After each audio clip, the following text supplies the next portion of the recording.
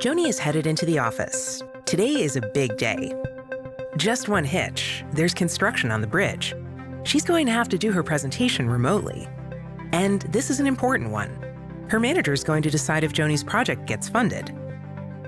Normally, there's a certain amount of context you miss if you're not in the room. But fortunately for Joni, IntelliFrame can now help using automatic camera switching.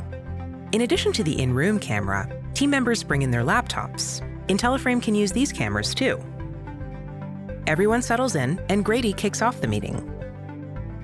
Joni's manager addresses her directly, and IntelliFrame automatically switches to the laptop camera. Joni responds without missing a beat. Grady raises his hand and weighs in. But something doesn't feel quite right. Joni needs to see her manager's reaction, but she leans out of view of the room camera.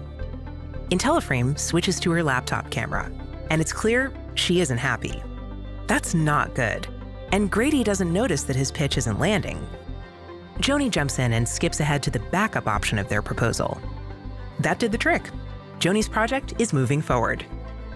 Automatic camera switching for IntelliFrame brings the in-room experience to those working remote, leveling the playing field for all employees, no matter where they're working.